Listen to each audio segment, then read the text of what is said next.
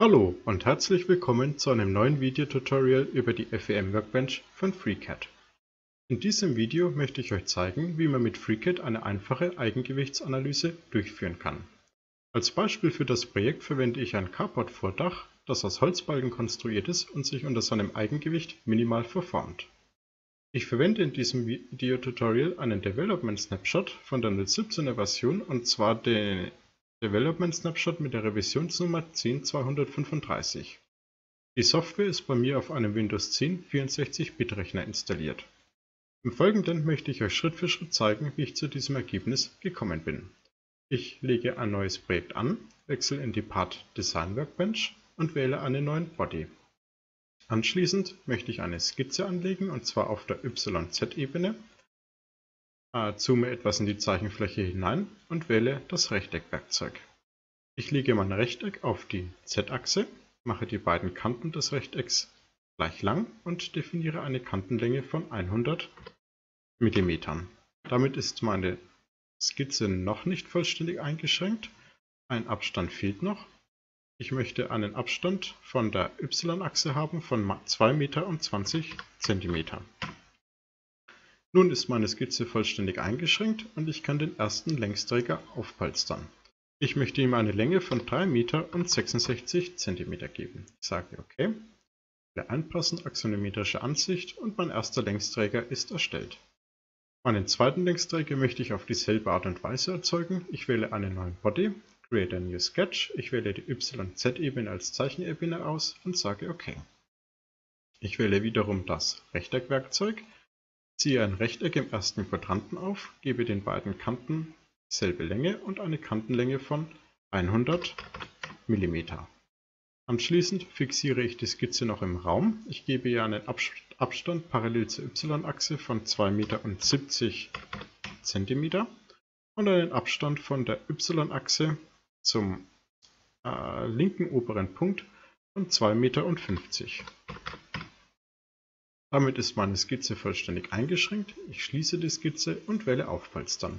Auch diesem Längsträger gebe ich eine Länge von 3 Meter und 66 cm. Ich sage OK. Äh, Einpassen und axonometrische Ansicht und meine beiden Längsträger sind erstellt. Im nächsten Schritt möchte ich meine Dachsparren erzeugen. Auch dafür bleibe ich in der Part Design Workbench. Ich wähle einen neuen Body, Create a New Sketch und wiederum wähle ich die YZ-Ebene als Zeichenebene aus. Ich zoome etwas in das Zeichenblatt hinein, um meine beiden Längsträger sehen zu können, gehe auf den Drahtgittermodus und wähle das Polylinienwerkzeug aus.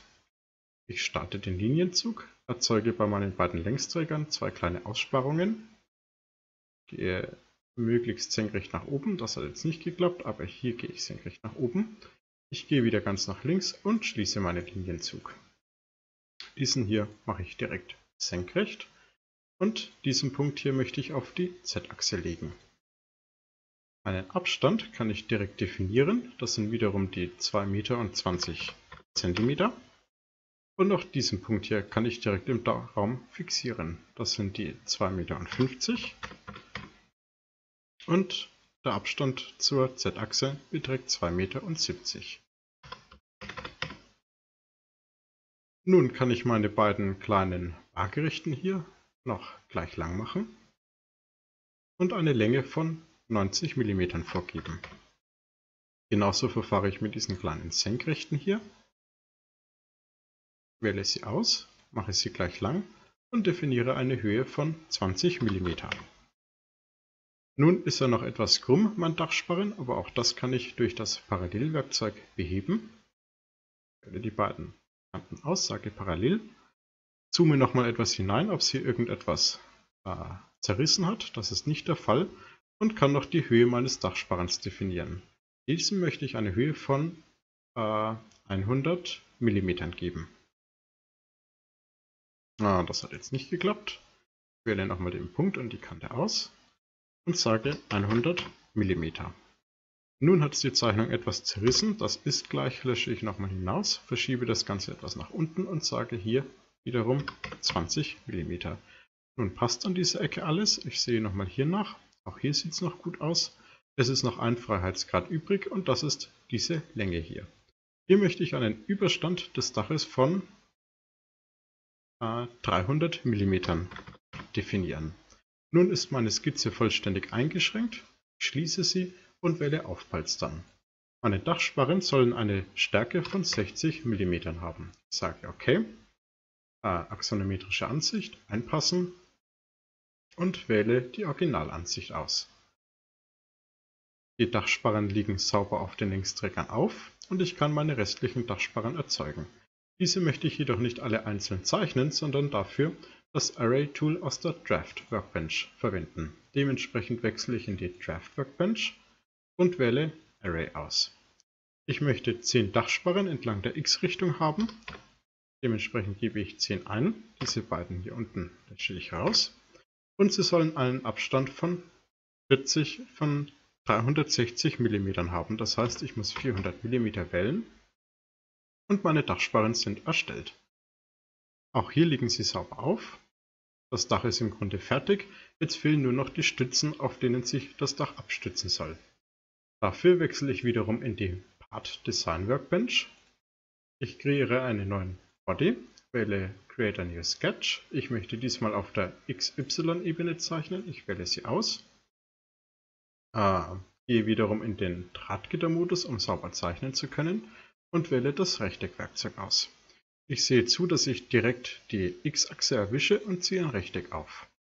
Auch diesem, äh, dieser Stütze möchte ich eine Kantenstärke von 100 mm zuweisen. An der Abstand zur äußeren, zum Längsträger außen soll 300 mm betragen sage Schließen und Aufpolstern. Meine Höhe der Abstützungen beträgt 2 Meter und 10 cm. Also ich sage OK. Äh, einpassen und Originalansicht.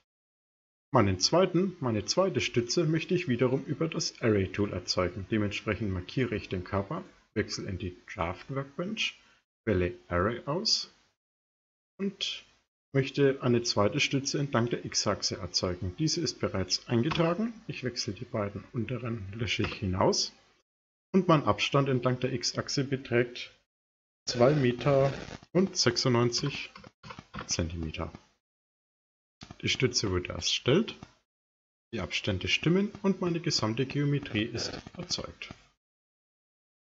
Um äh, eine FEM-Analyse durchführen zu können, muss ich jedoch noch die ganzen einzelnen Körper zu einem einzelnen Körper vereinigen. Dafür wähle ich alle Zeichenkörper aus, gehe in die Part Workbench und wähle Fusion. Nun ist ein einzelner Körper erzeugt und ich kann mit der FE-Analyse beginnen. Dafür wechsle ich in die FE Workbench, lege eine neue Analyse an, wähle direkt meine Self-Weight-Analyse aus und weise dem Körper ein Material zu.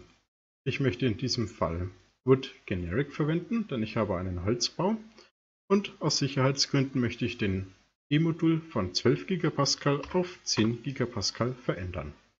Die Dichte des Holzes beträgt hier 700 kg pro Kubikmeter und die Querkontraktionszahl 0,05. Ich sage OK. Und im nächsten Schritt muss ich noch meinen Körper im Raum fixieren. Dafür könnte ich Fixed Constraint verwenden. Ich möchte in diesem Fall jedoch über Displacements gehen, das heißt über vordefinierte Verschiebungen. Ich wähle Displacement aus, wähle meine ganzen Flächen mit Hilfe der Steuerungstaste, sage Einfügen und definiere eine Verschiebung in x-Richtung von 0 mm, eine Verschiebung von 0 mm in y-Richtung und eine Verschiebung von 0 mm in z-Richtung. Das heißt, an diesen vier Flächen ist der Körper starr im Raum fixiert. Ich sage OK, wieder axonometrische Ansicht und kann im letzten Schritt mein Netz erzeugen.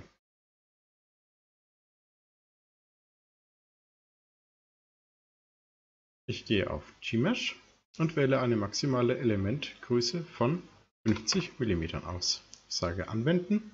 Die Netzerzeugung dauert nun eine Zeit lang.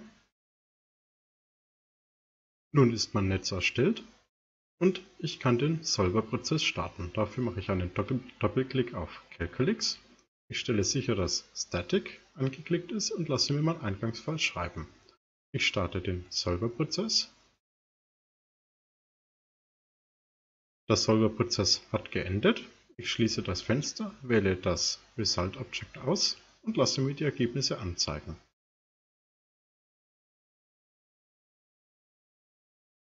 Wie man sieht, äh, verformt sich das Dach besonders im mittleren Bereich, so wie man es auch erwarten könnte, und die beiden Stützen werden seitlich etwas ausgebeult. Nun interessiert mich besonders meine Verschiebung in Z-Richtung und diese beträgt im größten Fall 0,21 mm, das heißt optisch kaum wahrnehmbar. Und man sollte auch davon ausgehen können, dass dieses Dach noch eine gewisse Schneelast tragen kann. Ich hoffe, ich konnte dem einen oder anderen mit diesem kleinen Tutorial weiterhelfen und bedanke mich für eure Aufmerksamkeit.